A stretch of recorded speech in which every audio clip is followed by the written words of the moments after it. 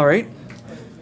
So welcome everybody to the uh, July 4th meeting of the Royal Astronomical Society of Canada. My name is Brian McCullough. I'm the meeting chair and the host. I feel like a cruise director for the Love Boat or something here, but here we go. So we've got some interesting uh, things on this evening. Everybody all settled there in the back? Alrighty. Here's the lineup for tonight. Okay, our, our regular segment with Tim Cole on Ottawa skies, what's visible uh, this coming up this month. Uh, Rob Dick has an item from the uh, General Assembly in uh, in Toronto. Uh, we've got, we'll have another couple of announcements on the go there. Uh, Richard Alexandrovich communi- communicating with ET. All right, and I think we're going to have something of a little bit of an ET theme that carries on. It'll be somebody doesn't know about this yet, so we'll, we'll surprise him. Uh, Eric Benson's in tonight uh, with some uh, spectroscopy and imaging that he's done from his. Uh, uh, it's Huntley Ridge, eh, Eric? Yeah. Right. So Huntley Ridge Observatory. Oh, of course, it's right there. Uh, Rolf Meyer uh, is going to give us an announcement about a, uh, a, lunar and planetary imaging workshop. He's going to be, uh, uh, he and Linda will be hosting at their, uh, their house on the Upper Dwyer Hill Road. And our regular segments at the end of observations, so we'll have people's observations from the, the past, the non-rainy nights, and some interesting observing challenges this evening. All right, so let's, let's get underway. The first thing is, did everybody receive a copy of Sky News with their with their membership.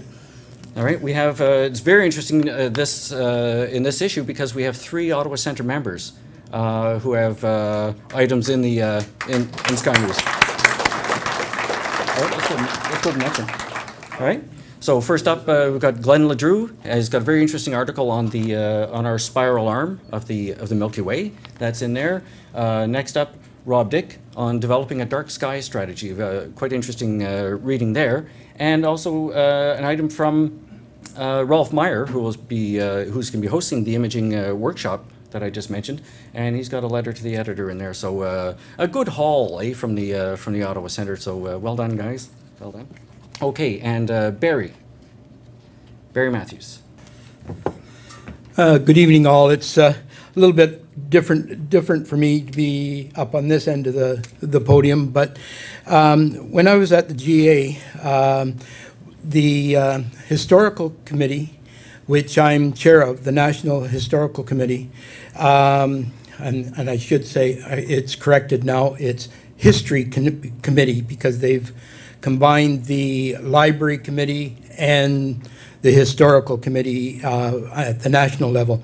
Anyway, um, one of our members of the um, of the uh, of the committee um, put together 140 years of art and observation, and this was put together as a poster, um, a, a multi uh, faucet po poster with uh, a number of uh, 8 by 10 um, replicas of documents and drawings that we have in the National Archives of the Royal Astronomical Society. Um, this comes with a catalog and describing uh, these uh, items. And um, we are making this poster setup um, available to anybody, um, any member of the RASC that wants to have it up at a star party or uh, in, a in a museum or uh, set up for um, uh, Cubs or Scouts or something like that, or on, on loan to various centers across, uh, across Canada. I would encourage, it's, uh, it's a, quite a write-up because uh, what he was looking, uh, Randall um, Rosenfeld was looking for, is the fact that before cameras, before anything else did, uh, other than the telescope, people all did sketches. They did sketches of solar flares. They did sketches of um, of uh, the moon. They did, you know, that was the only way they could record it. And uh, Randall has really captured some of the uh, very best of these uh, posters. And like I say, they're available. Um, just a, sh a, short note on something else. Um, the Historical Committee is actually um, going to each center and asking the centers to um, produce a, um, through, through uh, myself or what, any one of the members, uh, send pictures in of their own observatory. A brief description, no absolute um, location where it, where it is, um, a brief description of, of what's in it, um, some of the things that you had trouble um, uh, developing your own observatory. And this will be put on a CD and stored in the National Office as part of the historical archives of the Royal Astronomical Society. And there will be one CD pr- produced for each of the 30 uh, centers for, from uh, across Canada. So as a pilot project, I'm asking the members of the Ottawa Centre to send me pictures with a brief description of your observatory. Um, and one of the things that we would like on it, and this has a, got a very funny um, uh, uh, effect, um, if they put the lat and long, uh, latitude and longitude of their observatory on on, on this disk. This disk will eventually go into the Department of Transport, and they will take into consideration if they're going to put um, a road alongside of your observatory or some other shopping center. They will think about it. Not saying they, they will not use it, but um, uh, you all can get my email address out of the uh, uh, members list on the uh, thing, and there will be a note about um, about this talk, um, both in the next issue of um, Astronotes. Thank you very much. Hi. Just got back from the GA. It was great. Uh, Barry and I and uh, a bunch of us were there. Uh, and this was my highlight, uh, Richard. Richard met uh, uh, Phil and Neil deGrasse Tyson at uh, Las Vegas just a little while ago, so I had to uh, rub it in.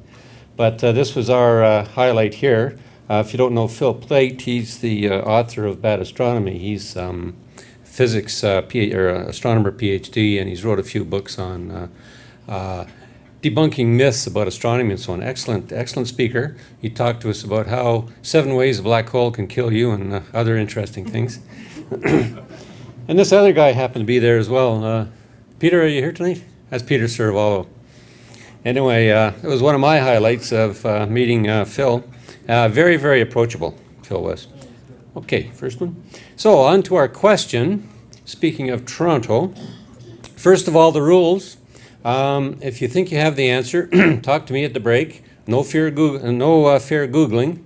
Actually, googling probably won't help you on this one. So, speaking of the Toronto GA, I have to confess I'm a Toronto Maple Leafs fan.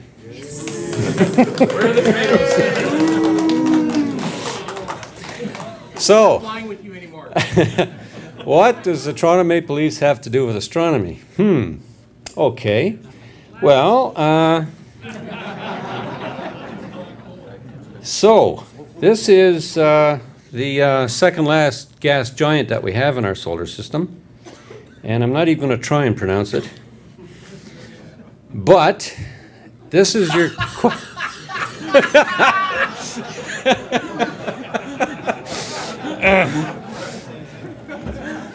Anyway, getting back to our subject here. It's astronomy. It's astronomy. This is astronomy. Okay, first of all, the answer is not they are the same color, and it has nothing to do with the name of that planet. So, if you think you have the answer, and you do get it, the prize tonight is the um, the DVD that Eric made for us of the RASC annual dinner speak, uh, featuring uh, Chris Jones, the author of Too Far From Home. It was an excellent talk, and the CD's up for grabs if you got the right answer. So, what do the Toronto Maple Leafs have in common with that planet? All right, so next up, uh, Tim Cole with a, a view of to what's coming up in the uh, skies this coming month. There will be some stars, there will be some planets.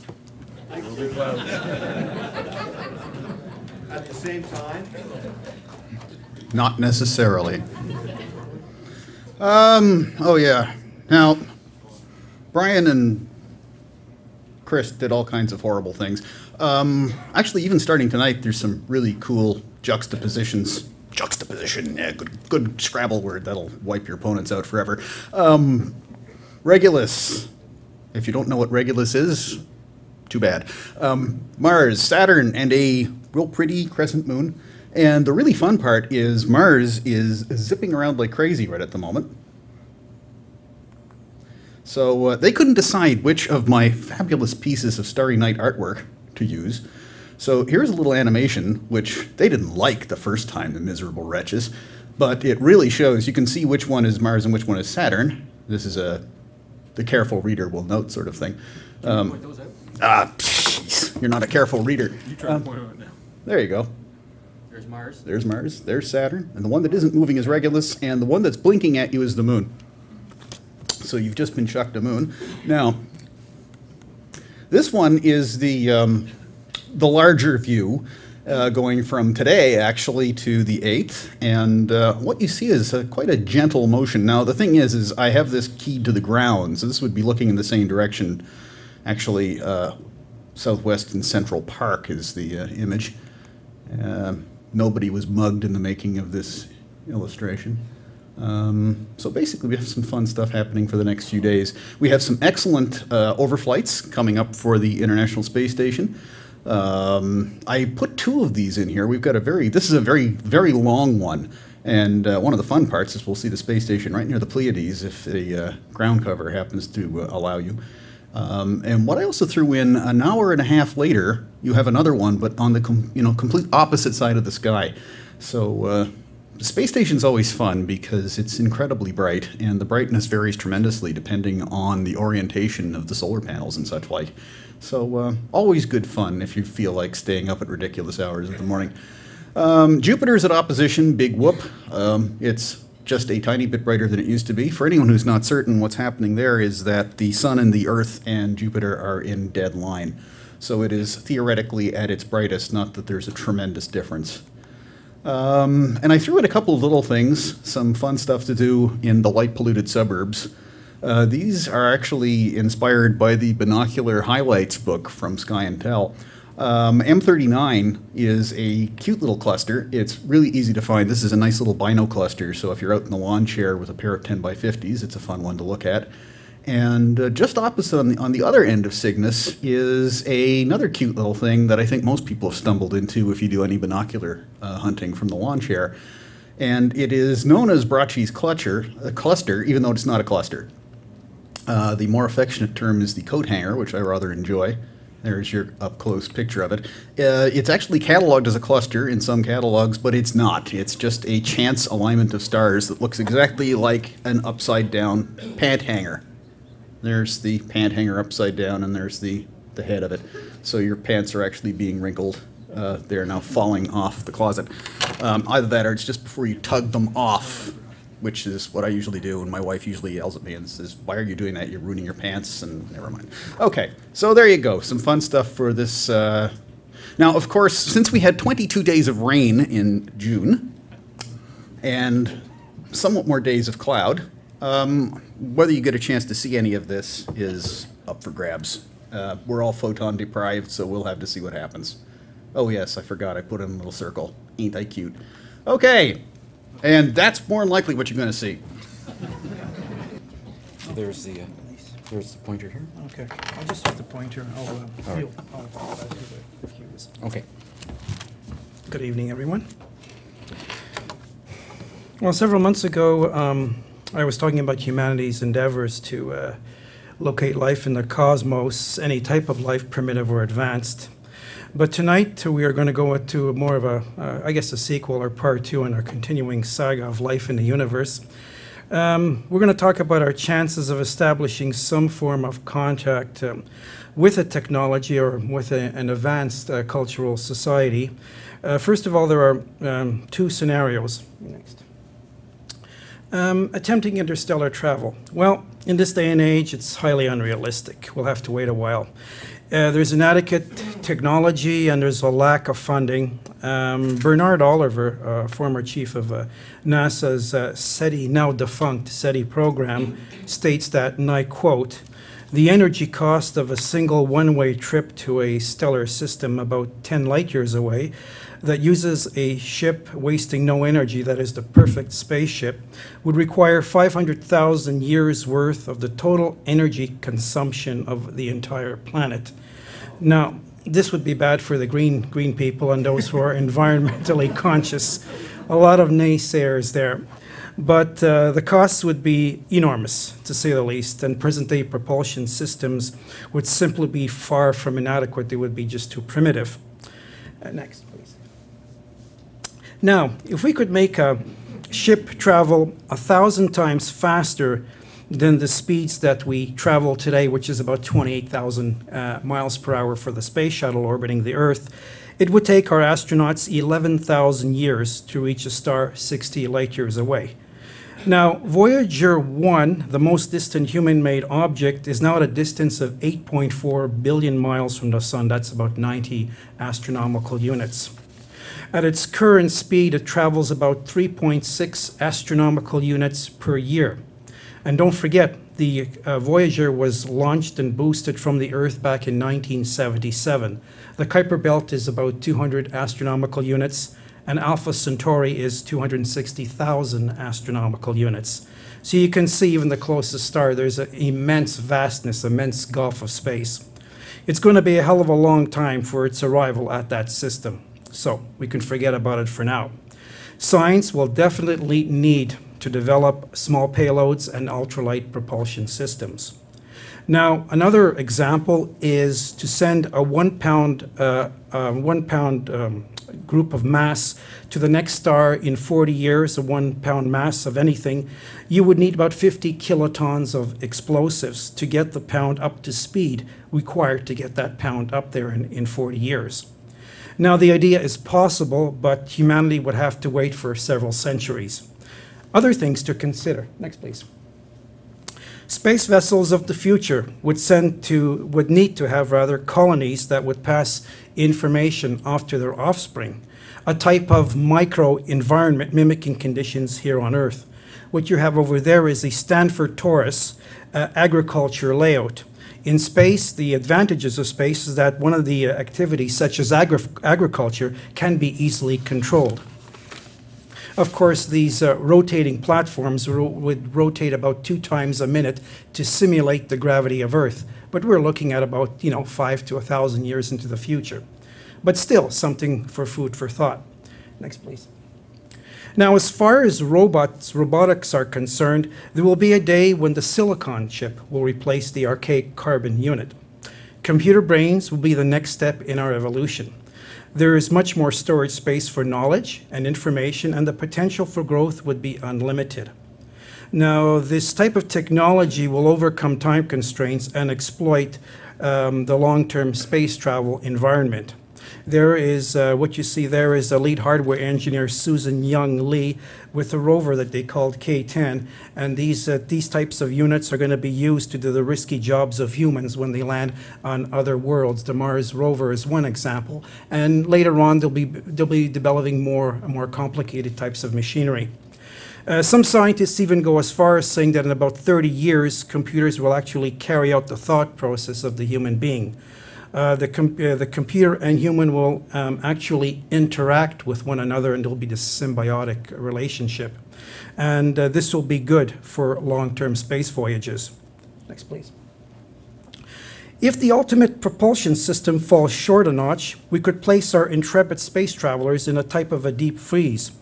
Uh, similar to movie settings uh, in the movie uh, 2001 or Alien, this one was from Alien, I think, humans can lower their metabolic rates and hibernate while they travel to another star system. Now, hopefully, this time the onboard computers will not jeopardize the scene and kill the lives of the astronauts as it was in 2001. The sober part of all this is that our interstellar travelers of the distant future will venture to the stars, but they will not return back to Earth. There'll be no welcome back ticker tape parade uh, back on terra firma. Next, please. Now, even if they do manage to come back many generations later, the normal path of our evolution would have taken its toll. Language and culture, among other things, would evolve as well as communication. And what about our space travelers? How would they appear to humans back on Earth? Well, that's uh, anyone's guess. That's very hard to tell. Now, having said this, taking into account today's levels of technology, we must then consider our second scenario something that would make more sense in today's society, a method that is both much more cost effective and easier to achieve. Next, please. Here we either listen or send messages to our distant friends or foes. Our tool of choice microwave communications. Microwaves are proven to be very efficient. They, um, they are found between on the um, electromagnetic spectrum. Sorry, I don't have a picture of that. Um, they are found between the radio and infrared uh, radio waves at 1 gigahertz, and their length is appro- approximately 1 meter. Now, they can travel through our atmosphere unimpeded and are least likely to be absorbed by the ISM or the interstellar medium. Now, the thing is, a two way conversation is not that crucial. Setting up a one way link, whether it's only to transmit or to be on the receiving end would be just as effective. And you may ask why. Interstellar space is, you know, so immense. It's very large. It would take eons waiting for a response to come back. And contact from either party would tell them or us that there are at least two planets in our galaxy with advanced societies, at least in one galaxy, the Milky Way. The late Carl Sagan once said, next please that the message that was sent to M13 deliberately in 1974 was just logically a waste of time. Here we would take an example about 22,000 light years M13 is. It would take 23,000 light years for electromagnetic signals to reach potential inhabitants out there to receive our message of goodwill, and then roughly another 23,000 light years for the return serve back to Earth. That's 46,000 years, if my math is correct to wait for electromagnetic signals to reach our ears. Plus, there's no guarantee the signals will ever reach our solar system. Furthermore, will humanity still be around to receive the goods? That's another big question, barring a natural catastrophe or complete annihilation through nuclear warfare. How will humans interpret or decipher an alien message? And a globular is not exactly the best placed or best target to send a message. There are too many gravitational instabilities among its stellar members. Pl- Stars are basically too close to each other, basically about one light year or so away. Planets would find it difficult to survive in this crowded star field. Next, please. A better place, uh, I feel, would, uh, and some of you would agree, would be to transmit our existence to an open cluster. Open clusters are generally much closer to home, several thousand light years away, and they are lying in the spiral arms of our galaxy where life is most likely to take a foothold. Now, don't forget, our sun is part of an evolving open cluster. So, and a lot of stars there are of various members. There are um, AO stars, B stars, G stars, which our sun happens to be, and why not there? Receiving or waiting for something to come in would be difficult as well. We need to ask ourselves which stellar system is most likely to send a message. We know that not all stars will harbor a twin Earth, and especially the unstable stars and those with tenuous gas and dust disks. We now know that red dwarfs are not that good for forming planets because the dust disks are extremely thin out there. Now, what frequency will they be using? Next, please. What channel or channels will ET be using as well? How wide will their messages be? Will they be broadcasting or narrowcasting? Our receiving equipment must meet the standards of sensitivity as well as pointing in the right direction at the right time. We're beginning to talk about a crap shot, a game of chance or luck, a cosmic lottery game. Another hurdle, the scintillating effect caused by the interstellar medium. Next, please. I like this picture when I was doing the research. It reminds me of a clamshell opening up and the jewels inside blazing forth. The uh, propagating radio waves on Earth, um, the um, scintillating effect, I'm using propagating radio waves on Earth as an example. Atmospheric conditions will cause them to fade in and out when you tune in radio stations at night. They don't always stay, those stations, they, they tend to fade out. The, a signal from either party would suffer the same consequences. Anything that happens to come between the sender and recipient may jeopardize the signal. What about our ability to decode a potential message, to recognize the signal when receivers on Earth pick them up? Is there any cosmic chatter out there? Do we need to separate it from cosmic noise? Now, our computers would select and, and sift out these natural noises from ones that are artificial in nature. The receivers would be strategically located as well. Ideal coming, upcoming locations include the Australian outback and the southern part of Africa. Sites are nearly free of human electronic uh, uh, interference in those areas. ET listeners don't have to uh, listen to spurious interference from cell phones, pagers, and other communication devices. Now, the far side of the moon is the ultimate location, but again, uh, there's a cost prohibitive, although some people swear that there is something on the other side of the moon, but I won't comment on that. Now, there is virtually zero interference from anything on Earth on the far side of the moon because simply the moon is blocking it. So there will be an excellent place to put receiving stations out there. Next, please. Now, the issue about language will ET communicate in a binary code or some other form of mathematics? Or will it be a simpler and straightforward jargon? Our best educated guesses tell us that they will resort to digital means. However, we're saying that today. In 100 years from now, it could be another, another method.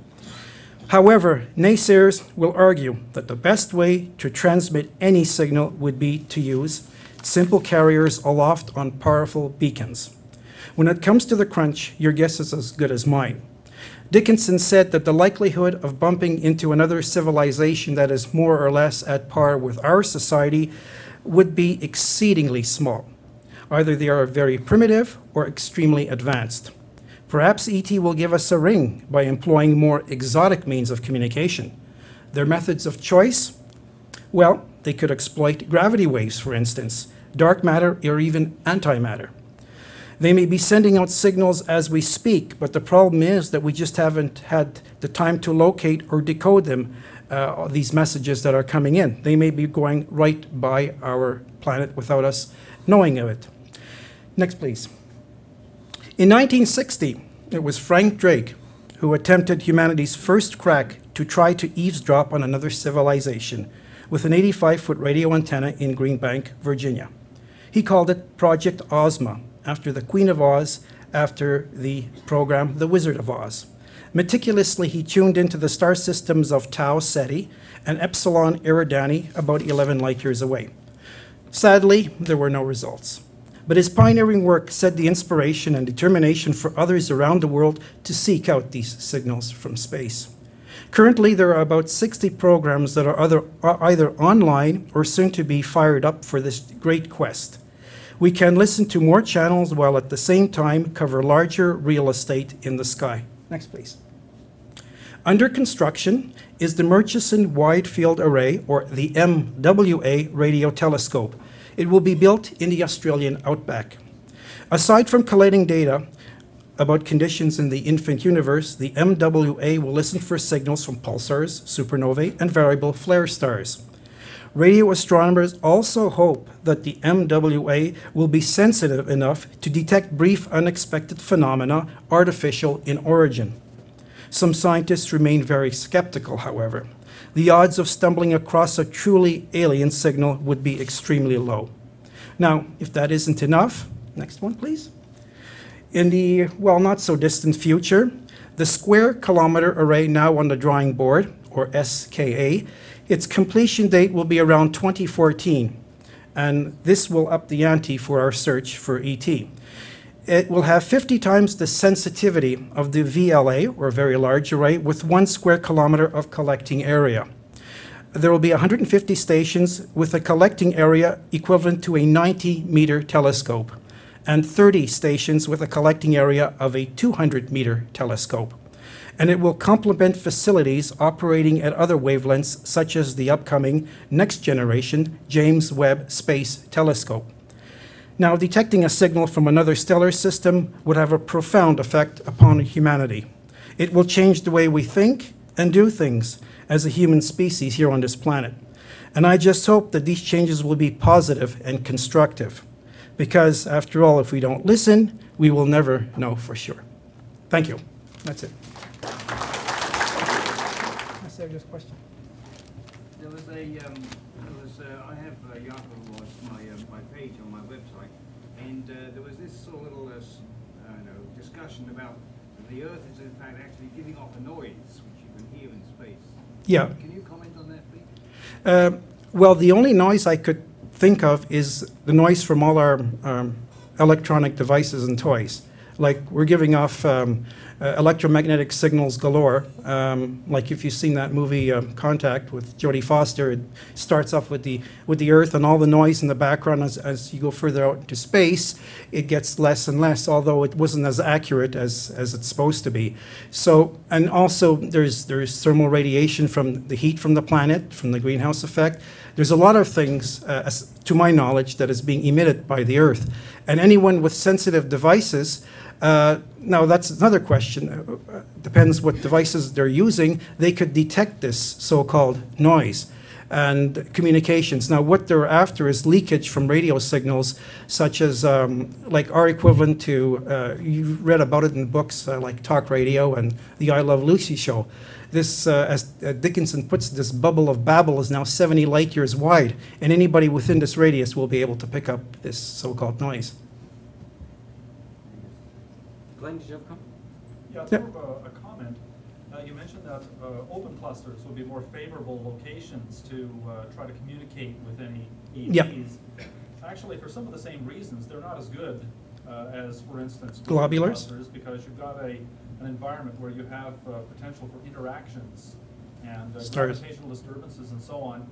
And moreover, most open clusters are rather on the young side. Um, Our solar system's been around for about five billion years nearly, and we're only now having uh, intelligent life as we know it. Um, Most open clusters don't get much beyond about hundred or a few hundred million years old before they begin to disrupt. And even the oldest ones are on the order of just maybe a few billion years themselves, but they're very scarce. Uh, And young clusters as well, of course, they might contain very hot ionizing stars, you know, with a lot of uh, potentially damaging radiation. Mhm. Not to mention the most massive stars exploding every now and again as supernovae, which would be, you know, in one's backyard. So most open clusters really would not be particularly good candidates for those reasons and That, even more. that was a thought that I was uh, de- deliberating on a few years ago, you know, like a globular, it's very tight, but uh, I realized that our, our sun, I think, is part of the Ursa Major open cluster, if I'm not mistaken. Uh, It's not a member of it. Uh, It's The Ursa Major cluster is only, at most, I think, a few hundred million years old, a fraction of the age of the sun. Our sun probably once was a member of a cluster, but we just can't identify any members because we've gone around the galaxy about twenty times. It just wandered in. Yeah, we're just passing through by chance. There's also other superclusters that we're passing through, like the Hyades, uh, the Pleiades, uh, and of course the Ursa Major group, which is part of the Sirius supercluster. Uh, But it's just an accidental, you know, ch- uh, chance really that we're in the same region of space. But the galaxy is full of all these dispersed old streams of stars. uh, Dismembered. Yeah, dismembered clusters. Well, they, they're, they're starting the searches with stars that are very close, sun-like G-type stars, uh, 200 light years away. But as the equipment gets better and better, they'll go further and further, and there'll be more stars on their, on their table to look at. So, um, um, but yeah, like you said, there could be the oddball star that, Yeah, single stars are the best candidates and ones that we know have been around for. Long at least time. long enough for life to evolve to a- a sufficient degree, yes. I had a question. yeah. Now, our knowledge will increase through time, but I want to know, we, we have a finite amount of resources on the Earth. And even if you include the solar system, are there enough resources to send people out of the solar system to the next galaxy? You know, no matter how much time it takes, are the resources there? That's hard. That's a hard question to ask. We're just starting, like we're talking about next uh, next step on on Mars, but uh, to to send people beyond the solar system, that's going to be a very big step because it'll take a lot of time, energy, money to send someone um, to even Proxima Centauri, which is 4.2 light years away. And at this stage, it'll take us, like, like I said earlier, generations. And that's going to involve a lot of work, a lot of energy. So I'm saying all this will probably happen in hundreds of years. We, we're just better still be happy with what we see from Earth. And, you know, because uh, right now it's on, it's on a borderline of, of fiction. yes? Now, you, you paint a very grim, dark picture of ever visiting another solar system, and rightly so, the problems are huge. Now, what about the possibility, and I'm not interested in seeing little green men out there because I'm one of those that don't believe they exist out there, but just for the pure science of visiting another solar system, uh, scientists are working on superluminal, uh, you know, space travel. And some scientists say that it is possible. We know that it happened at the beginning of the universe. Uh, do you have any other information about uh, possible uh, travel at faster than the speed of light? Is, is any progress being made on that anywhere in the world? Uh, on, on that Frankly, I, I couldn't answer that question. I don't know any secret documents or anything like that, the superluminal. I've heard radio shows on it, but uh, I don't want to get into that. Teleportation type thing. Sorry. Any other comments or questions? All right, Richard, thank you very much. Okay, thank you. Oops, there we go. Did, it- did anybody give their answers to Chuck? Not, not yet. Anybody, ha- last call for answers? Nobody's got the right answer yet, and I didn't think they would.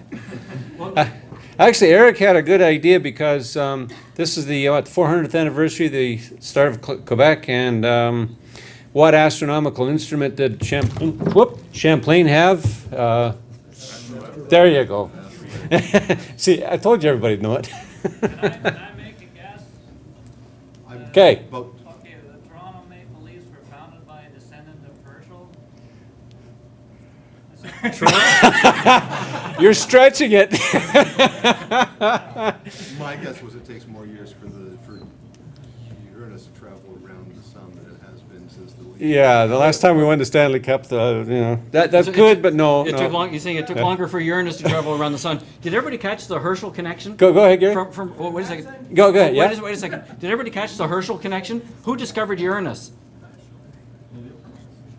Gary. Mats Sundin was born the same year Uranus was discovered. Uh, Matt. Uh, no. Uranus is bland. Uh, they're in second is- last place. Uranus Yeah, is yeah, we've, we've heard them all. Richard. Both are detected only by their gravitational effects on others. You're close. You're close. It has something to do with gravity. Okay, Lay it on us. okay, next one, please. They've both fallen on their sides. You notice there's a, notice there's a puck here. The Toronto Maple Leaf net seems to be a puck magnet. Pucks always orbit around the Toronto Maple Leaf goal. It's almost like it has a gravitational force. Well, that second last gaseous planet also has a puck around it. Everybody's going, oh. That pucks. There. Very good. There, nobody won it. There you go. All right, thank you, Chuck. You're welcome. Oh, by the way, happy Aphelion Day. This morning, we were the furthest away from the sun in our orbit. You didn't know that, did you? Aphelion News. Happy Aphelion Day. Okay, so uh, introducing uh, Eric Benson, who's got uh, an interesting presentation here on uh, his uh, Huntley Ridge Observatory observations he's been making. Well, it's been a while since uh, it's up here. Probably about more than 15 years, but uh, yeah, about that. I was I used to be an educator here, so I used to talk. It was usually uh, Boy Scouts or Cub Scouts, so a different crowd. Um, I uh, I used to do visual uh, observing a lot. Um, might remember that you know those uh, long nights in September usually till five in the morning. Um, and then yeah, got a job and had gotten married, had some children, four, yeah, that visual observing till five in the morning. Well, I, uh, that didn't work out so well anymore, uh, especially living in the city. So, um, but a few years ago, three years ago, we moved out to uh, Carp uh, because I was working in Kanata, and um, the commute was just a killer from downtown. So, um, I got back into doing astronomy, and um, well, I I had this crazy idea that I I wanted to uh, take some spectra of some stars because I had done spectroscopy back when I was a grad student, and well, I didn't have a telescope that could track, so I well, you know went out and I got myself a a G11, which is a Losmandy mount with a Celestron telescope, a C11 to go on it, and uh, waited for a spectrometer to come in the mail. Um, I'll show you that later. Uh, in the meantime, I got a camera. I had a camera, and I put it on the telescope. I figured I'll just take a few pictures with it, see what happens. And um, yeah, you know, it turned out it was sort of fun. So I started doing some imaging. So I'd like to show you a few pictures from last year. This is before uh, that that dome there. I'll show you some more pictures of that. Um, let's see that way. Yeah. So um, before I had a dome, I had the telescope in the backyard mm, under a tarp most of the time, and uh, take the tarp off and take some shots. Um, this particular one um, is interesting because it's it's uh, this is an interacting system. These, these two galaxies are actually interacting with each other. Um, no, you, it's hard to tell from this picture because they're really well separated.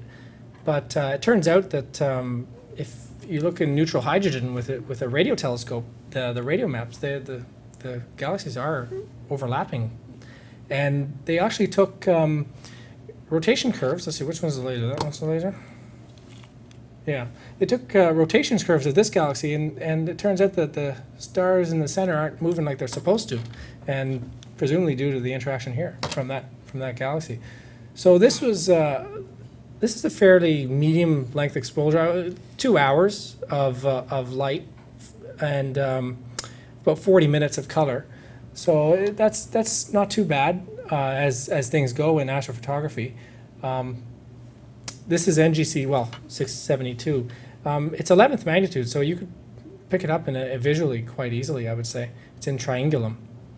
And uh, this was an ST8 camera, which is all, all these pictures I'm going to show you were with an ST8 camera, which is an SBIG camera. And um, I guess I'll go on to the next one. That, that, but that one, by the way, was done with a focal reducer on the telescope, so it's a little wider field of view than, than the others. Let's just go to the next one. Now this one is really cool.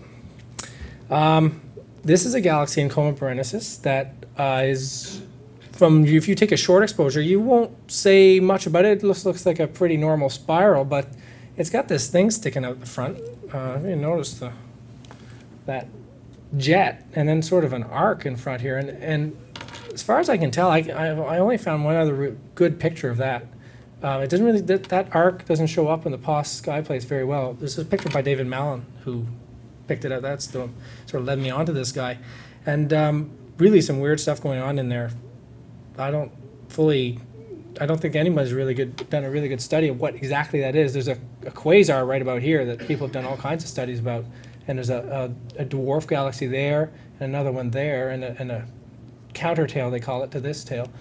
But um, the dynamics is still unknown of what this guy is. This is uh, four and a half hours of, uh, of images, uh, both at f10 and f6. So I had to combine two different image scales together to, to get this one. It just turned out that I was sort of experimenting with a different focal length, so uh, trying trying different things. Um, this uh, this particular um, picture won me a prize uh, for uh, one of these uh, the S- SCT user group prize, and I got a little telescope for my trouble, a little uh, Astrotech uh, refractor. So that's now sitting on the C11, um, and I use it to uh, find stars with the spectroscope that I'll show you later. Because when you have the spectroscope on the on the telescope, you can't see anything. Um, and for comparison, so those are multi-hour shots. For comparison, um, this picture while I was waiting for it to get dark, and so this was uh, this is a globular cluster in Hercules, and it's obviously a lot brighter. This is M92, so it's it's six and a half magnitude. It's only 20 minutes per channel, so um, big difference trying to take pictures of those faint galaxies versus bunches of stars like that because it the the, the brightness factor is nearly, well, nearly 100,000. Um, Lots of good colors in it, though, but uh, whenever I look at this picture, I think, well, you know, I need a better tube, because you can, you can notice some of the stars down here, they're not exactly perfectly round, and that's because it's a Schmidt-Cassegrain, so now I have to convince my wife that I need a RC or something like that, yeah. Yeah, I don't know how to do that, though. Yeah, well, yeah, I think the C11 I'll have to do for a while. Um, Yeah, maybe I get them to work. Sorry? Uh, Do you mind if I interrupt for one second? It just occurred to me in the. Don't take too long, Glenn. The previous picture, if you go back to it again, just so people can remind themselves, not Oh. that one. The other previous. That one. That thing that looks kind of like a jet with a bit of an arc, you know what it suggests to me? Is that it's actually the disrupted remains of a, maybe a small uh, dwarf spher- spheroidal galaxy. Oh, yeah, could be. Tightly Could be. stretched out Yeah. as it's being torn apart. What's really odd is that it's so straight. And that, by the way, that, that length uh, is big time. Like that, that's, where, did I write down that was 75,000 light years or something like that across here? Where's the laser? That's 75,000. This is the, this is the distance across a normal sized galaxy. And it's straight. So it's, um, We're probably looking, uh, What? almost edge onto the orbital plane of the. Yeah, maybe, but then you've got this arc here that, that might be a Probably big a sphere. Looks like it ran into something, so. Yeah, deeper exposure would be very interesting to see. Yeah, I ran out of time, I guess, on, uh, that's the problem with Ottawa, right? You, by the time you get enough exposure, it's, uh, it's gone into the west and, uh, or the clouds have kicked in on you. Like this month, I got, I think I got two nights in June, so. Suggest- Tough break. Suggest they put the Hubble Deep Field or the Hubble, the Space Telescope on that object. Uh, I don't think they've done it. They haven't, they haven't put the Hubble on that guy yet. I couldn't find any Hubble images of that area, so, uh, could be cool. Yeah, well, maybe somebody will get a twenty-inch telescope in New Mexico and point at it and see what happens. What are the odds of that? Yeah, well, you know, there's a lot of other targets, I guess, so. So I was gonna, my, this is my last picture before I get into the spectroscopy stuff. This, um, this guy here, I spent a, a lot of time. This is five hours of luminance and four hours of color. And, um, it's, it's thirteenth magnitude, so it's, it's not too bright. It's, it's good distance, two hundred million light years to this guy. And it turns out that this, this object is one of the bigger, bigger galaxies known. Um, this galaxy is, because it's so far, it, it's still pretty small. Um, it's only three arc second, three arc, one, uh, three arc minutes by one arc minute, but its, um, its size is, is 50 kiloparsecs. So that works out to 150 odd million light years. So good size, con- I think our, our galaxy is clocked in around 100,000. Um, was so the largest one I looked it up uh, the other day. The largest, the two largest known are one is in Pavo, so I don't have a, any chance of seeing that at this point in time, and it's 350,000 uh, light years across. And the biggest known turns out is this sort of unknown galaxy in Coma Berenices called Malin One. So if anyone wants to take a crack at it, it's, it's 18th magnitude, so a bit tough. But um, it's uh, 200 kiloparsecs in diameter, so that's that's 600,000 light years. So humongous. There's some monsters out there. But this one here is also unique because it's, it seems the astro- astrophysicists figure it's got two spiral arms, two sets of spiral arms, this outer one and these inner ones. It's um, quite sure what's going on, but it's it may have had collisions. There's a there's a thing here, and and this is sort of anomalous. This shape here. So. Um, it's fun when you you- when you take deep exposures. You sometimes come across stuff that's just not um, evident uh, in the shorter ones. Eric, you Obviously. four hours of color. Was it four hours total or four hours per plane? Um, color was, uh, on average, nine. I had 10, 9, and 5 exposures of 10 minutes apiece. So, yeah, it's four hours total. Yeah. So the luminance, it's usually, you usually end up with, your total color usually ends up about equal to your, your total luminance if, if you get it right. Um, you can try to get away with less lumin, less color, but I find it, on these faint ones, that you, you end up just bringing out noise. Um, so that's the imaging part, and that's what I did last year. I got a whole bunch of stuff on the hard drive I just haven't got to yet. It's um, too much spectroscopy getting in the way, I guess, mostly. So I'm going to go on to um, what I used to. Uh, this is, by the way, the, those pictures were taken with the telescope in the backyard under tarp in between rain showers. Um, and then in October, I got tired of taking the tarp off and having wet grass and sitting in the wet grass and computer, two computers went kablooey, power supplies being outside. So I got this thing, and holy smokes, what a lifesaver! So um, it's all plastic. It's the same stuff they make lawn furniture out of, and it it's pretty durable. Um, I plunked it down the f- night I got it. I think it came in the truck at six o'clock, and by four in the morning, I had it set up. Couldn't wait. it, actually even rained that night, but that didn't matter to us. Like, whatever, it's raining. so uh, I had it up, and um, then it was uh, to use it, and and it was fine at first, except I, I, I didn't have a floor, so I got a floor in there, and uh, that's um, after I took it down, but to do something else, which I'll show you. But I put a floor in, and that's that was really good. The floor keeps you and your stuff dry because the grass is amazingly wet, actually. the dew that comes off that stuff, and just the moisture.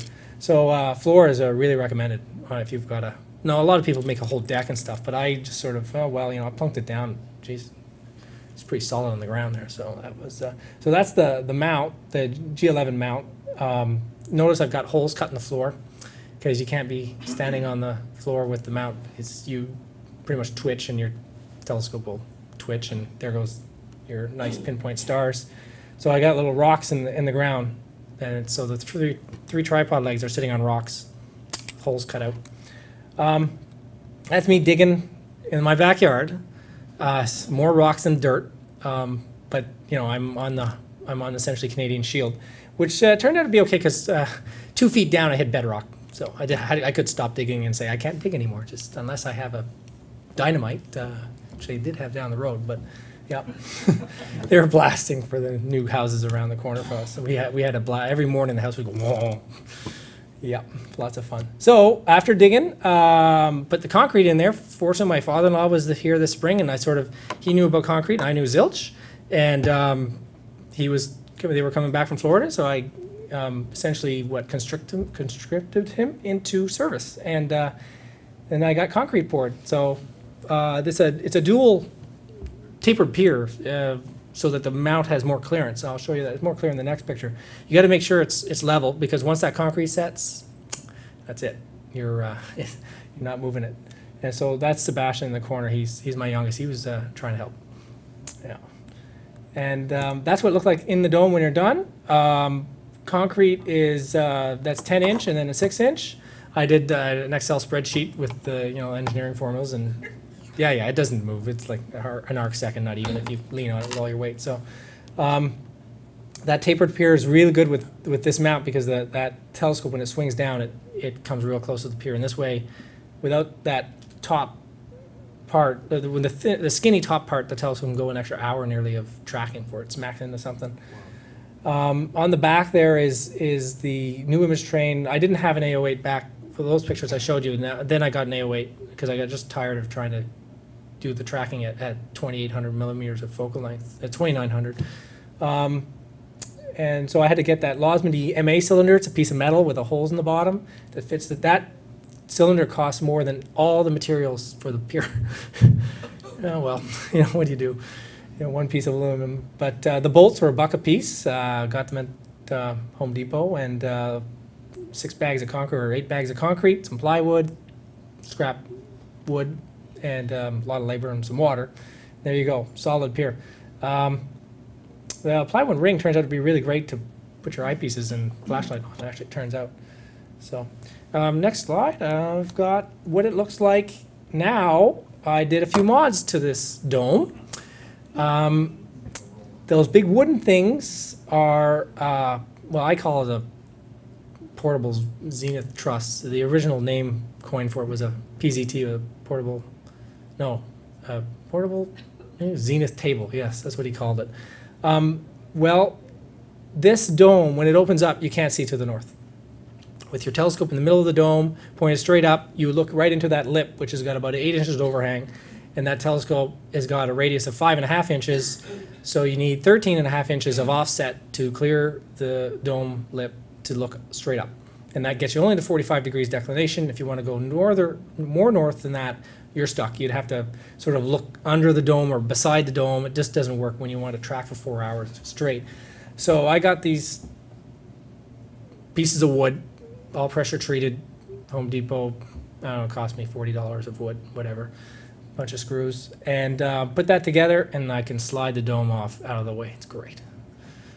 Just slides off there. And I had to put. I didn't have stops at first. So it was pretty scary at five in the morning. You're really doped, you know. You're like just and can't see really well, and you know you can't hold the flash. You're holding the flash in your mouth, sort of, and trying to push the dome off, and you're wondering, geez, it's gonna fall off and tumble on the telescope. Yeah, so I got the stops on there and the side rail, and so when I hit the stops, I know, okay, good. Um, one thing is, of course, it it uh, you sort of have to choose. Do you want it to be rotating or pushed off? So I I um, have to make up my mind at the start if I want to have protection from wind and, and dew. Uh, but otherwise, works really well. Um, those those pod bays are great. You just all kinds of junk in there. Just throw it in and forget about it. Uh, and the computer has a place for itself in the corner, and um, the door is to the left, and you have to do a double duck to get out. Unfortunately, you open the door, you go through the door, you close the door, then you duck again to go under the dome lip, the uh, the roof lip. But you know, I'm still young, I guess, so no big deal for a while. Otherwise, I, I guess you'd have to dig a trench or something to walk in. But, yeah. Anyways, yeah, never mind the grass. I'm not very good at keeping my grass. So, um, what's the next slide? I mean, yeah, it's really well. You know, geez, we had a lot cut the grass a lot this June. Man, alive. This is a spectrosgraph. This was the original intention when I got into that German Equatorial Mount and SCT instead of my Dobsonian telescope. This is what I was wanted to go and do. This spectroscope is uh, was bought as a kit, and I put it together. But it, all the pieces were pre-cut. It was just pretty much putting screws together and and um, and getting things aligned. Uh, but you can buy them now off the shelf, or you can still sort of buy as a kit. It's, you pay a little less. Um, it's a great instrument. It's it's got two features that I found out when I was trying to make one myself that are super important to the ease of use and your sanity. Number one is a reflective slit. It reflects the light. So the star comes in through the telescope and is the, the focal plane is put onto that slit. Some light goes through the slit and onto the grating to be analyzed. Some reflects off the slit because the slit is narrower than the star and ends up going off a mirror through a couple lenses, relay lenses, onto another camera, which is they could be a webcam, could be any kind of camera. In my case, it's um, it's a remote guide head for an SBIG camera, and that lets you guide, keep that star on the slit, and you can actually see what you're doing that way too, because you essentially that guide camera is is your main view into the sky. The camera looking behind the slit can't see anything. Uh, it sees spectra doesn't see a star field. But that guide camera sees a star field, so you can take a picture and, oh, there's that star. Okay, nudge, nudge, nudge on the slit. Terrific. Lock it there and start auto guiding. Um, the light gets gets through the slit and then is relayed through a lens, the doublet at the bottom left. So the, the cone of light coming out of the slit is the same F number as, as what the telescope produces. And so um, the design of the spectroscope has to be optimized to a certain F number. You have to choose a certain size grating, a certain size lens, because you don't want to make them too small or you'll lose light. If you make them too big, well, then you just made it heavier for nothing. Um, so this this spectroscope is optimized between f8 and, and f11 or so. Uh, so f10 being the, the prime target because of all those SCTs out there. And so the light goes through that lens and is recollimated into a, a parallel beam that would make a spot a, a circle at infinity, hits the grating, and reflects back. Now it's called a Littrow because the Littrow, uh, an English guy long ago, figured out that this is a really useful way of making uh, that lens do work twice. And so the light goes, hits off the grating, is dispersed. So this the different colors of light go at different angles through that lens back on your camera, and then you can take a spectrum. Um, lots of details to worry about. You've got to have the distance between that lens and the slit just right. You have to have your distance from your camera to that lens just right. Uh, you've got to tune the angle of the grating just right, etc. But if you get if you do it all right, you get a, a sharp spectra at the other end, and you get some results. Uh, what do I have next? Oh yeah, this is what the cam the, the, the doohickey looks like on the telescope. Um, it's about the same size as, as a C11 uh, in diameter. Uh, there's two cameras there. One's an ST7 and the other one's a, an SBIG remote guide head, which plugs into the ST7 to be a guider. Uh, and then there's a whole whack of wires that you don't see behind, but it's amazing how many wires grow on these telescopes. As soon as you put a camera, it's, uh, there must be eight of them. Um, actually, a big problem, big headache for dragging the mount when you're trying to track. If the cables aren't routed just right, pull the mount and stars will trail and headaches. Um, close up, that cable that goes into the side is the other super feature that they built into this thing, an internal neon lamp. Uh, internal lamp allows you to get a calibration frame anytime you want. You flip that switch, turn a knob, and you've got neon light illuminating the slit, and now you can take a spectrum of neon, which is very well known, all where all the lines are, um, and that is your calibration reference for your wavelength. Very important, because otherwise you're searching for telluric lines, which are absorption by water in the atmosphere, or hoping that your H alpha line is where it's supposed to be, etc. Um, the knob on the bottom right is the uh, adjuster for the um, grating. Uh, generally don't touch it very much because your camera sees a whole whack of spectrum at once. It sees a whole bunch of wavelengths in one go. So you'll turn that knob to move the whole s- spectra over. So you may want to look in the blue or the red, but you, you generally leave it leave it be. And the side panel, um, this thing here opens up so you can get at the lens and adjust the focus of the lens to get it right onto the camera there. Uh, that's the knob for the, the neon. Some some uh, adventurous people have already motorized it so that they can. Uh, well, that's easy. That's just a switch. But they motorize this knob so that they can be inside their house while taking calibration frames. I'm not there yet. Maybe a couple of years, but that would be cool. Because I, I can do everything else imaging wise from inside the house through Cat 5 cable. The computers. There's two computers. One talks to the other, and once you got everything set up, um, you don't need to be there especially with a non-slit dome. If you had a slit dome, then you need a fancy motor and some software to keep that slit centered on the telescope, but not in this case, low tech. Okay, Rick. Yeah, Can you get the, the neon source and, and- or well, the neon uh, spectrum and the source spectrum on the same image? you could, but if you did that, you'd probably sort of, you'd wipe out your, your target spectra because this neon is really Well, bright. No, it's, uh, the neon spectral lines go right, they eliminate the whole slit, so the whole sensor's pretty much got a set of lines. So this, this particular, this is a neon spectrum right here, cropped. These lines go, so imagine the sensor is like that big, the whole screen, and I've just cropped off a little strip of it, and these lines go all the way up and down. Um, so the slit is up and down. And the spectrum and the, the grating is such aligned so that the light is spread out left to right, um, orthogonal to the slit. And so that's what a neon spectrum looks like. There's very few lines in the blue down here, and the green and blue. Very annoying problem with neon. But the next lamp up is a thorium argon lamp, and it costs several, several hundred dollars with a fancy power supply. So, I don't know, one of these days. But I'll make do with a neon, which is a couple bucks for a bulb. What's the advantage of the argon? Thorium argon lamps have spectral lines all the way across from from the deep violet right up into the infrared. It's um, it's the, the standard what uh, professionals use. So, um, but this one's got tons of lines in the region of interest, which is the H alpha right here. So that's why it was chosen. Um, this is a spectrum of a comet. Remember we had that comet that disappeared last fall and was like, geez, I got the spectroscope and the telescope here. I there's a comet. Okay, go, let's go for it. And uh, so I took a spectrum of the comet. Um, that particular swath here is that's if you can imagine taking this. Um, this is a cross section of the comet. So that's that's wavelength. That's actual spatial direction. So the comet was very big. That's the nucleus, and that's sort of the coma. This this faint thing out here. So um, you can take your pick of where you want to take a spectra. You can take a line through the middle, take a line out through the side, and you'll get different spectra because the comet is a great big reflector of sunlight. So in the middle, it's mostly a solar spectrum with a few cometary attributes to it. But if you take a spectrum like this one here is a line out on the on the edge here. I think this one is arc one arc minute from the core. Um, you get a different spectrum from the middle, and I've subtracted the solar background. This is flat. Um, if you look at this, it's actually this line would be a great big hump like that. That's brighter here than over there, right? Uh, that's just the solar reflection. So I, I processed that out, I flattened it out, and this is what you get left over. And you get a whole bunch of peaks and valleys. And the uh, peaks tell you what is emitting, and the valleys are absorption by some gas or dust.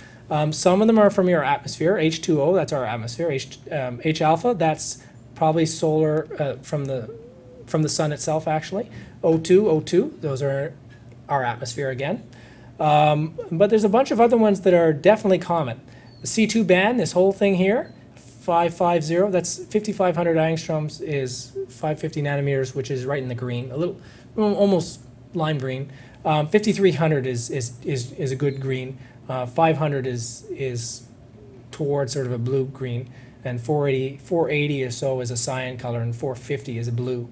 So that's C2, which is molecular carbon. More molecular carbon. I don't know what that 5130 is. I haven't figured out that. So those are from the comet. They're, it's emitting colors or light in the blue and the green, why you get the blue-green color. Uh, but it's mostly carbon, and there's another big band here, carbon. Um, cyanogen is here, and there's actually more of it down here, which I couldn't get uh, below 4,000. So cyanogen emits more in the purple or UV. Um, these these O1 lines here, those are forbidden transitions that don't occur on Earth, but they can occur in space because of the density. Um, Herzberg wrote a whole thesis about that. Um, so there's a bunch of them. These two lines here are actually the same lines that produce aurora. Those two there in the red. So um, cool stuff. You can go and analyze what's in a comet this way. And then uh, recently, I took another spec. Oh, by the way, the details. So that was nine times 600. So that's nine frames of 10 minutes apiece. So it was 90 minutes of acquisition, where I, and then I stacked the frames. And so I got fairly good signal and noise because it was a very bright comet. So next thing that just occurred recently, there were two nova in uh, Ophiuchus one after the other within a few days. Uh, one was too low. One was at minus 27 degrees declination, couldn't get it. But this one here was at minus 23, and um, I got three nights where it didn't rain and there were no clouds. Amazing.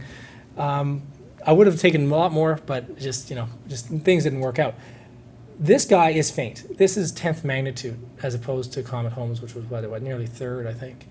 Um, so I had to uh, expose for, well, they were not long exposures, but there's a lot more noise in these. This great big peak here, that's H alpha. I've got another slide separate for that. But all these little peaks here are indications of elements, and those, are, those turn out to be iron emit, uh, blown off by the nova. Those, those peaks there and those peaks there's different transitions for iron, all kinds of them. Um, the first night, the blue trace, I couldn't find the, the sodium doublet, but eventually this brown trace, it did show up. The brown trace is the last night, and these peaks were really now much more easy to see, and that's because I have 40 minutes of, uh, of acquisition on the last trace, and the first night I only got 10 minutes, um, just because of me screwing up and light coming, you know, dawn coming up on me and stuff like that. Uh, and O2, this emission, this is this is again our atmosphere biting into the uh, the light that the nova is produced. This this this con- this is called the continuum. This this broad envelope. The nova emits lines and and a broad envelope, just like our sun does, and uh, the O2 bites in there. And these great big lines here are light pollution, or aurora lines. I'm not sure. Could be either. Um, and this whole band here, you notice how there's a stripe. That's the spectra from the star. That stripe. So the star is spread out in a long line these lines here are through everywhere in the sky. So they, they make lines that are the full size of your slit. And that's, li- that's most likely light pollution in here because that's around sodium, so in the visible. Um, but fortunately, you can subtract them out because you can take a, a profile here, and then you take a profile right on that strip, and then you subtract them, and that stuff goes away. So those three peaks do not show up here because you can subtract them out. Fancy stuff. And so that makes spectroscopy a great thing to do in the city where you got loads of light pollution. Well, spectrometer, no problem. You can you can separate it out and process it out, and it doesn't bother you. All that all that light pollution that normally would make a great big haze in your picture gets spread out over lots of wavelengths and um, doesn't really bother you at all, especially if you have a slit. And the last slide I've got um, is the H alpha line. So I've zoomed in on that H alpha line, which was right off the scale. So that's the main emitter of that of a nova is the H alpha line, and amazingly, it changes quite rapidly over those two weeks.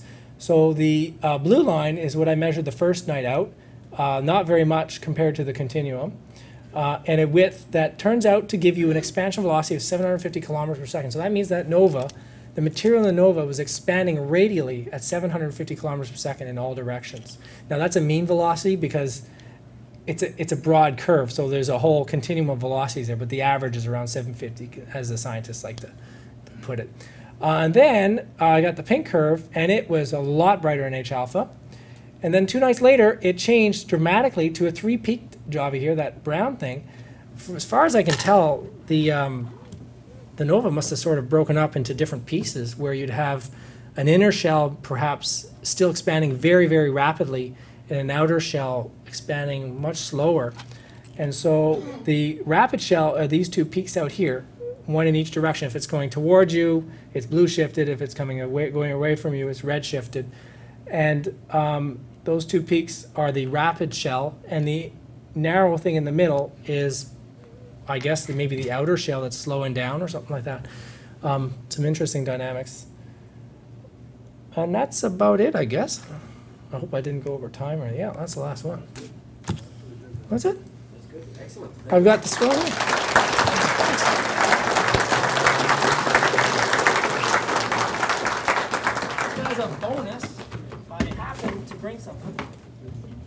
So you get an idea what it actually looks like in someone's Brought a door hands. prize. This is this is it. Yeah, door price. Yeah. yeah. One more ticket, Brian. I'll trade you for a 20 inch. No problem. Um, that's the thing, with all the shiny screws and stuff. But it's uh, it's all sheet metal, and um, the, that makes it very light. So because it's already heavy enough to go on the back of telescope with a big camera like that. But goes on there. That's the micrometer for the uh, grating, switch for the neon, and the, the flap turns a bulb and puts the bulb in front of the slit. And um, yeah, that's it. There's a slit inside. I can't. I don't want to really open it because I keep it sealed as much as I can. Keep the earwigs out. Yeah, they've invaded my dome. I don't know. Excellent. Anyways, Thank you, Eric. That was excellent observing report, and here's a little token. oh, I get a star. That's right, you get a star. All right. Well done, Eric. Okay, we're going next one there. Rolf? If anybody has any questions for Eric, uh, I think, what- oh, did you have a question for Eric right now? What are the um, intensity units? How did you divide them? The intensity. I'm sorry. Well, you've got ADU. Oh yeah, right. That's um, I scaled them because they weren't the same number, the same exposure lengths on each night. I scaled it to uh, units uh, per minute of flux. So you can tell this is not very much. But these ADU are a number of counts the camera produces. Uh, it's complicated because you've got gain, electrons to photons, and you've got efficiency through the mirrors and all that. But you're roughly you're talking a photon per minute. That's scale. So I'm, I'm down here. You're getting a few photons per minute uh, barely none, and there at the peak you're getting 700 photons. But per second, you can imagine, down at 10, you're getting less than a photon per second. Um, so you really got to be careful with your, your processing to get rid of it. Some of these were smoothed out. I smoothed out some of the traces with a filter. But uh, yeah. Okay, maybe one. Yep. Go ahead. I was just wondering why there's only iron there. Well, those are the only ones I was able to identify. I'm sure there's tons more of stuff, but I'm still a rookie at figuring out what's what. It's actually, uh, I don't have any good books about it, so sort of just doing a bit of searching and, and finding other spectra of other nova where they've identified lines. Um, I guess you'd have to be a true spectroscopist to go figure that out. Um, but I'm sure there's, there's, there's apparently there's calcium and, and uh, sodium and uh, magnesium in that, co- in that nova that I read about, so, yeah. Sure, a pro could identify a ton of lines. Perfect. Okay. Thank you, Eric. I think we're just going to move on here. Just uh, we're Yep. the hour's running on. Thank you. That was excellent. Thank you very much. Rolf. Okay, this is uh, really just by way of introduction. Uh, this is a picture of Jupiter I took this morning. Um, and um, uh, I was talking to some people at the last meeting, and uh, we sort of came to the realization that it might be fun to have sort of a lunar and planetary imaging workshop where, where we'd um, uh, you know, share some ideas of how we would uh, capture images and process them and stuff like that. So next slide. Um, so, so we're going to um, uh, try and have this next week um, at, uh, at our place. Um, so, um, uh, next slide. Well, I guess that, that's it. There's a map of approximately where we are. And uh, I guess, uh, I don't know, Eric Carp must be on there somewhere too. Yeah, so not, not too far from, uh, from Eric. Um, so that's that. Oh, by the way, I'm going to show a bunch of stuff here, and uh, don't worry about having to remember this. I have handouts if you if you want this, or just send me an email, and um, I, I can email all this to you.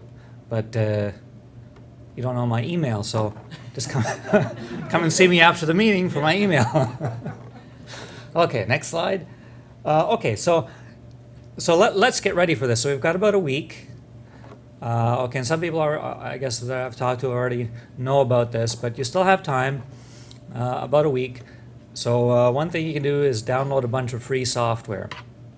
And, uh, and the main uh, program is called Registax, and there's the, the URL for it. And again, don't don't worry about writing this down. I'll give you a handout later if you're interested. Um, and what that does is that, that, that will take all your uh, images, and typically what you'll want to do is you'll uh, capture about uh, a minute or two minutes worth of, of frames, and you may end up with a thousand frames or more. And these all have to be sorted and uh, aligned and stacked and uh, processed. And Registax is really the main program to do that. Uh, so you really need that. Can't can't function without it. And these are, these uh, bits of software are nearly all free. If you want to do uh, more additional uh, processing after, or another nice general purpose image processing tool, it's called Iris, and that's free. Um, Another very important thing is uh, noise reduction because no matter what you do, you're going to end up with a lot of noise on your uh, image and you want to get rid of that noise. So there's something here called selective, Gaussian, selective Gaussian blur noise reduction. And uh, that uh, sort of removes the noise and preserves the, the detail. Uh, next slide.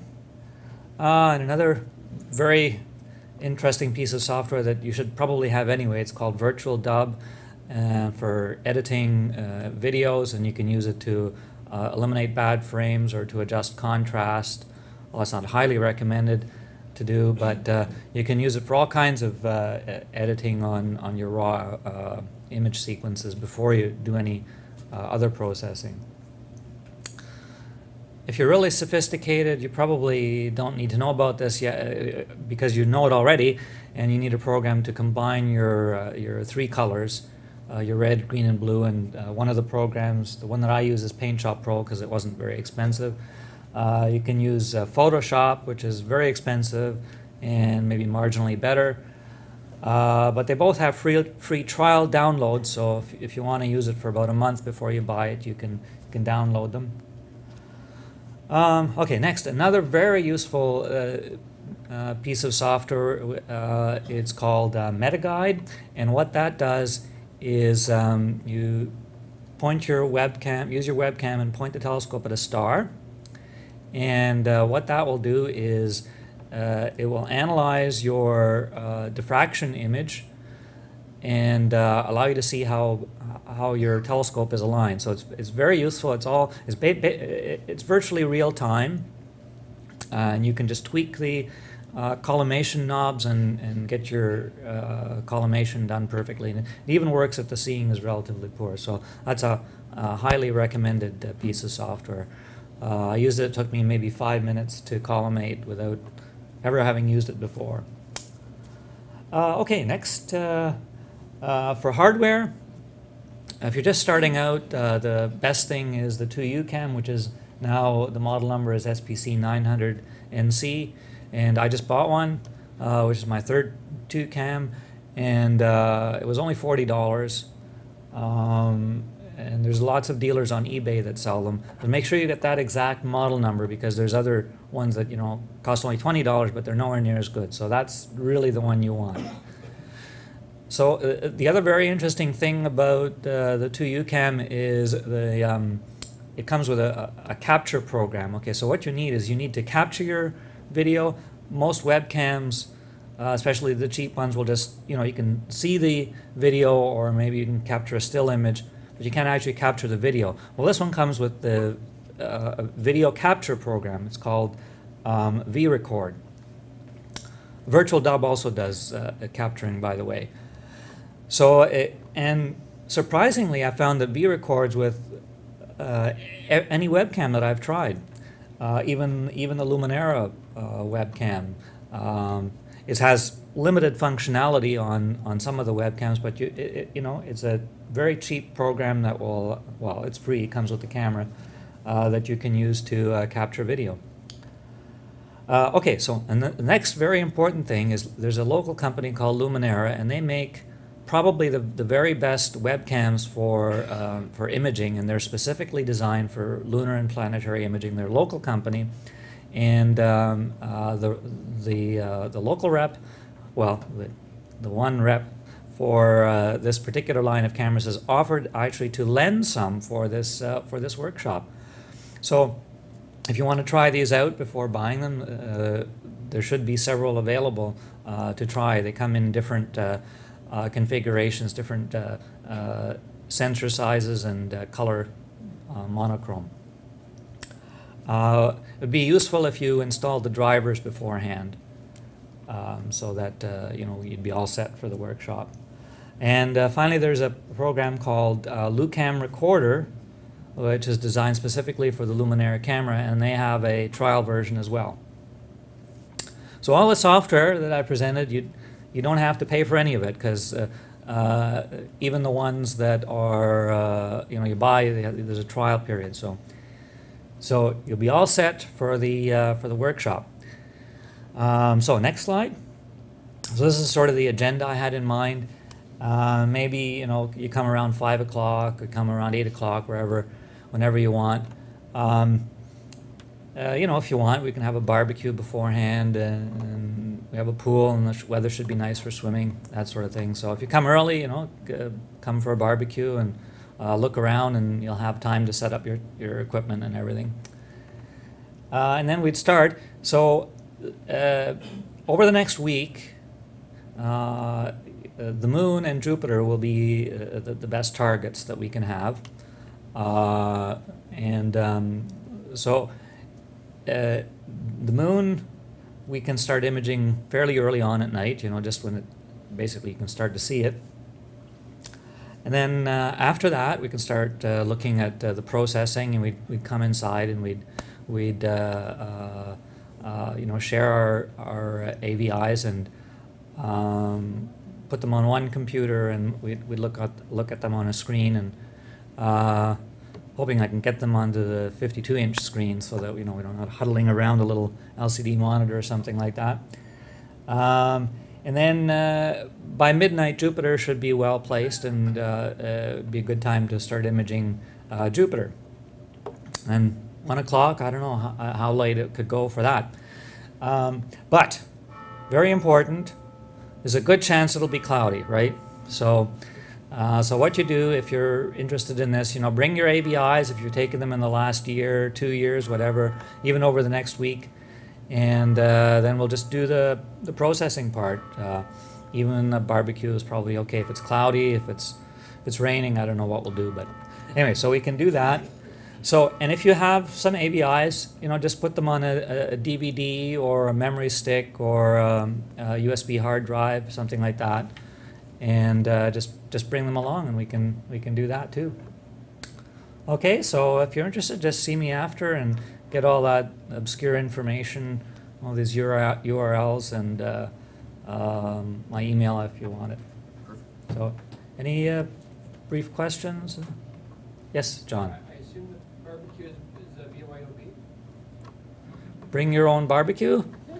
yeah. You can. Well, we'll have we have a barbecue, but you know, bring your CYOM. bring your own stuff. Yeah. Your own meat. Bring your own meat. okay, good. So Excellent. hope to see some of you there. Thank you, Rob. Okay, on to our observing uh, section now. Bob?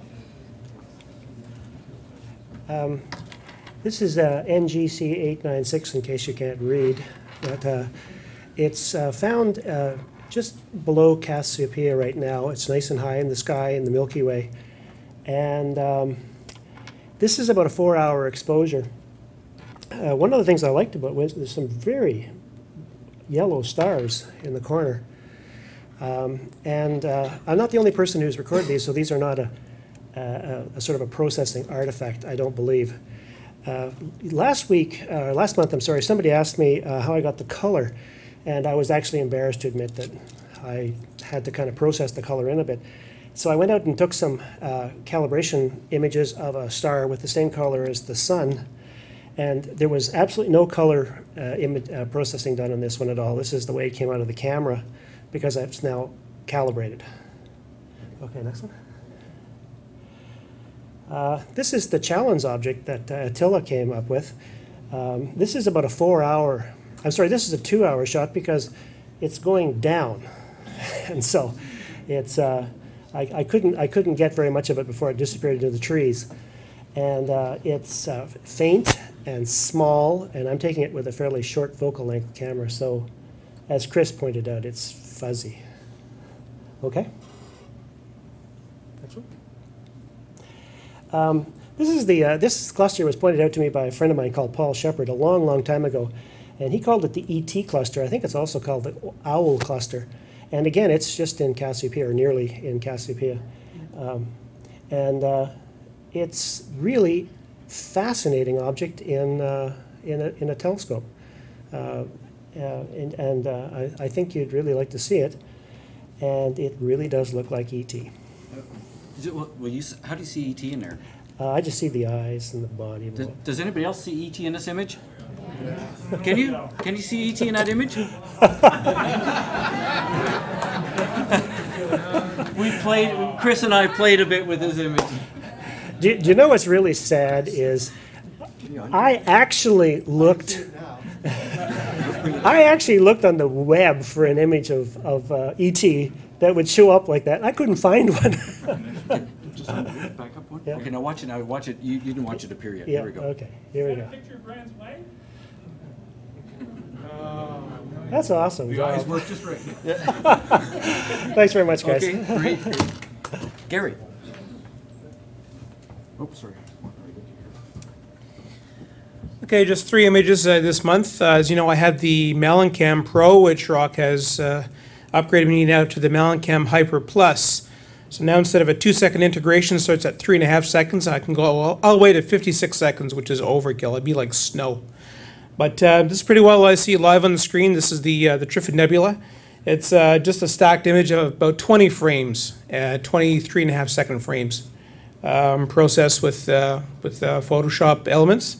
Of course, nice little bit of detail here, not too bad, but still it's a rough image. It's nothing like like we've seen tonight. Just excellent shots here tonight. Next slide, please. Uh, the Ring Nebula again. Paul, I know, Paul, you're, you're always wondering in, you know, on size.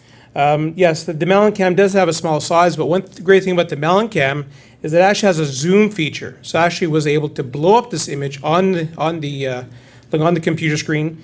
About, again, about another 30 frames at three and a half seconds, processed a bit, but uh, a lot of great detail in, uh, in the Ring Nebula M57. And now using the ToUcam on uh, our favorite planet uh, Jupiter. Uh, again, I can't wait for the for the for the workshop for Jupiter and the Moon too. Um, I'm still missing something over here, but I did get some inspiration from Ralph tonight just on how to set the uh, the scales on, on gamma whatever. So I'm I'm still getting this ghostly image over here in the processing. Uh, but these three shots were taken on June 20th, Friday, uh, two weeks ago, two weeks from from tonight. It was uh, it was pretty clear, very transparent skies, and uh, rolled the uh, rolled roof at 3 a.m. from being up at five in the morning. So that's a pretty long night. But and the moon itself was only about one night after full. So as you can see, the MallinCam is is quite sensitive. So uh, can't wait for that workshop. And uh, thanks, folks. We'll see you next month. All right, excellent. Thank you. And one thing too, with being clear tomorrow night, I will be uh, broadcasting starting at 10:30. 10:30. Wondersofastronomy.com, and there's a link. Uh, there's a link for a live Yahoo. Hope to see you then. Uh, sign in, chat. If not, just uh, enjoy the photos. Thanks. Okay, thank you, Gary. And Paul, Glenn or Paul? Well, this is the uh, challenge object of Danko. Uh, I annotated this one, as you notice. It's uh, it's no, it's uh, it has the nickname of the box. That's the other name for this particular uh, uh, Hickson 61. It's just a little beyond. You have to have a fairly good scope to see it visually. Uh, this was only a 60-second exposure. So uh, I thought I'd. Uh, is Attila here? Yep, yep, he's just on the side. Oh, that's a good choice, Attila. Great. Yeah. Uh, oh, and that's uh, for this uh, same thing as Gary had. This for this time of the year. I think this is a nice thing to observe. It's uh, almost overhead uh, in the evenings, and uh, very nice to observe the M57 uh, NGC 6720, uh, the uh, ring nebula. That's in Lyra. It's about about ninth magnitude, roughly. No, that's it. Okay. Excellent, thank you. Okay, I've got two pictures here. Um, I'm not into the advanced stuff like some of you guys out there. This is just with this, um, um, an SLR camera on, uh, this one is uh, on piggyback. Um, I know Brian pointed something out. They were toying around with the image. They just told me prior to the meeting. Uh, you've got the, uh, where's the pointer?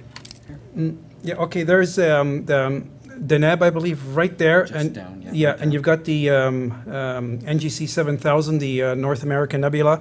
This was a um, seven-minute exposure uh, using a 50 millimeter lens. Uh, it was extremely uh, windy. I don't know if there was any problem with the uh, guiding or anything, but this was on piggyback, so it's not as, as crucial. Um, it was a C8 using an HEQ-5 mount. And uh, the transparency was horrendous that night. It was uh, rather uh, dewy uh, with an f-stop of uh, 2.8 to compensate for the uh, blurring at the edge of the field, so I don't think there's too much blurring.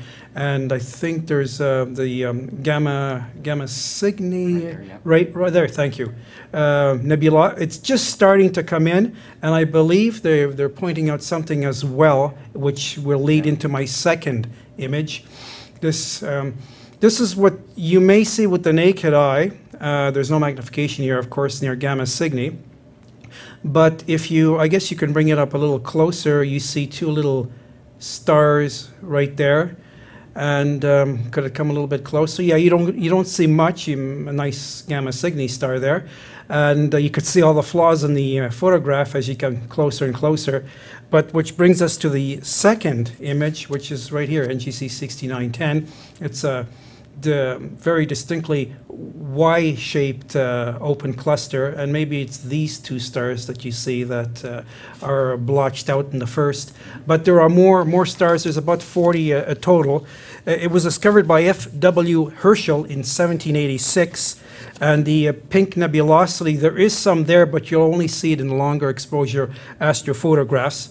Uh, that one is about 4,000 light years away. Um, in, interesting to note, astronomers are studying this cluster because of uh, stars called PMS stars. They are stars, the pre, pre-main sequence stars that are um, stars that are early in their age going into the uh, uh, main sequence strip. If you know the Hertzsprung-Russell diagram, uh, the stars are um, sort of transitioning and they're studying the uh, characteristics of those stars. I don't know too much ab- about it as well. Uh, mostly the region is H2, which is ionized, but there again, the pink nebulosity is, is not shown. And that too was uh, discovered by Friedrich Wilhelm, Friedrich Wilhelm Herschel uh, around the 1700s. So that's it. All right, on to Attila's Deep Sky Challenge. There. I like to take my telescope to public star parties and I show everyone from kids to grannies stuff in the sky. And often I get the question, how far can you see in that telescope? So this observing challenge is the answer to that question. And the answer is not NGC 3079, which is a nice galaxy in uh, Ursa Major that would probably be a challenge object if you have, say, a 46 inch telescope. If you have, say, um, 8 to 12 inch telescope, the companion galaxies you can see to the right, which are probably two or three times away, are, would probably be a challenge object. But even those are probably only a couple hundred million light years away, backyard stuff. The real challenge object, next slide please, is that little thing, which is a quasar. It's easily found by uh, locating this little asterism.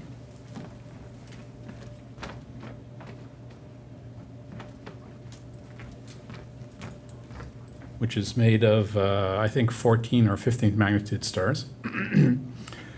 What's interesting about this quasar is it's it is the answer to the question. It's the furthest object that I've seen. It's 7.9 billion light years away, and it has an interesting story.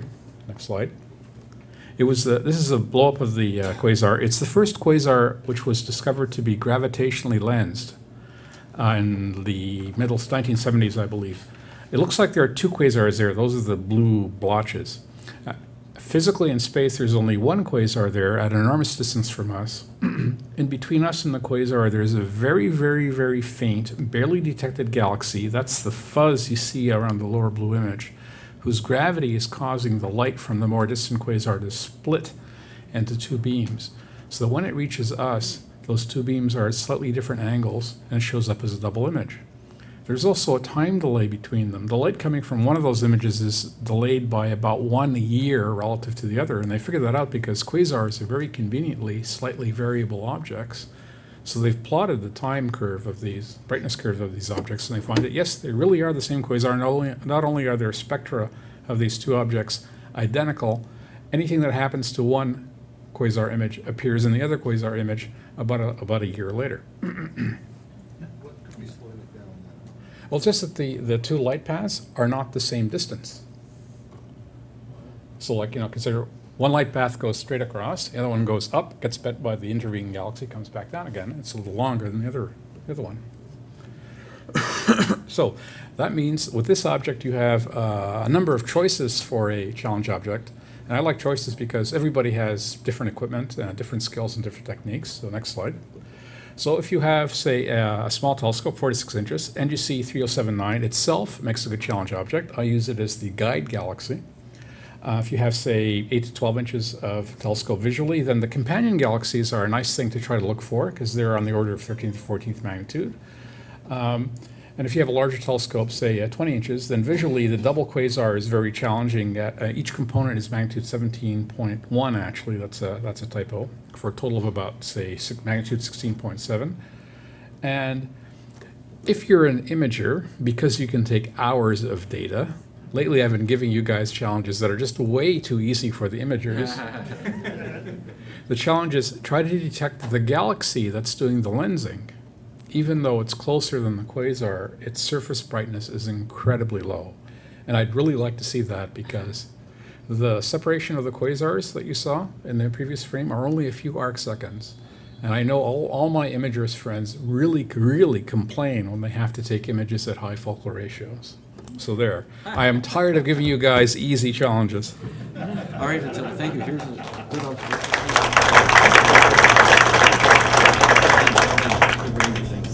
All right, here we go with the, uh, the lunar challenge. This is the final item for, uh, for sorry for this evening. This is a uh, photograph by uh, Mike Wirths, who's living down in uh, in BC right now. I say down in BC, I mean Baja, California. So this is a wonderful image of his, and what this is showing is on the if you look at the full moon up in the upper left corner, this is the uh, Mare Imbrium down here, the Sea of Rains, and this is the Bay of Rainbows, Sinus Iridum, right here. And we'll throw on a few identifiers, just a couple of notes, right fast. All right. Uh, there are two promontories here, Laplace and uh, Heraclides. And uh, I just wanted to point out a couple of things. The, uh, the Montes Jura, the Jura Mountains, going around about six, uh, just over six kilometers high. And the, uh, the one big broad Mare, uh, Mare area here is separated by the small landmass, if you want to call it that. And it, you get up into uh, the frozen sea, uh, Mare uh, Frigoris, right there. Now, what we're going to focus on here for the, uh, sorry, for the Lunar Challenge is the promontory right here. So if we go to the next one, there it is right there. Because there's, the, uh, there's an image of the Lunar Maiden. All right, now we've got things all twisted around the wrong way, but we'll, we'll fix that in a, in a second here. And if you go to the next one, this is a, a sketch by, as we can see at the bottom, Lucy Whitehouse. And that appeared on the uh, astronomy uh, photo of the day, picture of the day, uh, June 19th, 2003. And there she has the Moon Maiden. So now we're looking at it, we were looking at it this way before. All right, so the frozen sea is up here. This is uh, the promontory Heraclides. This is Laplace right here, and this is the Bay of Rainbows. This is the maiden. Now she's no, she's no, uh, she's no fetching maiden. Let me tell you, right? Here's her mouth and a beaky nose, and here's her eye, and here's her hair streaming back up this way. So now Chris has thrown a couple together here. All right. So this is the idea. It's uh, this depends on the sunlight uh, angle on the promontory to see how close you can get an image if you maybe cross your eyes just the right way and find the image of the maiden. So the, the lunar challenge is to observe, if you can, the lunar maiden in uh, Promontorium uh, Heraclides, or just observe and uh, maybe sketch or photograph the area right there. I can guarantee you, uh, from personal experience, it's a beautiful, beautiful place to explore uh, at leisure.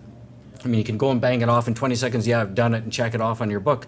But if you uh, work at a, a range of magnifications, work with a, a wide angle, and then zoom in a little bit, and then pull back again, and uh, you're in for a real treat. All right, so there you go. There's your your lunar challenge for uh, for the next month.